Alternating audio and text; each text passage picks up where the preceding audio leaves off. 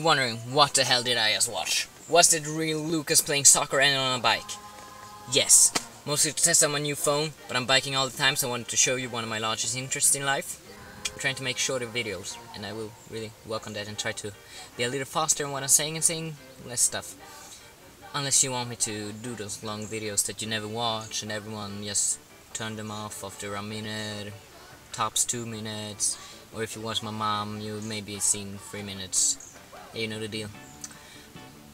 So, any suggestion what I can talk about or do this summer? Leave a comment in my pants. I got a lot of time, so there's no project large enough. No project small enough. Enough. That, that, that wasn't really right. Was it? Screw it! Leave a comment in my pants. And don't forget to be awesome.